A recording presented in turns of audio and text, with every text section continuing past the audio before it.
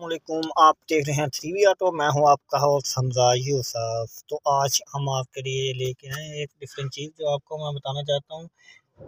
ये देखें, गाड़ी हिट हुई थी तो ये एयर बैग इधर से निकला है। ये देखो, इतना हार्ड प्लास्टिक है।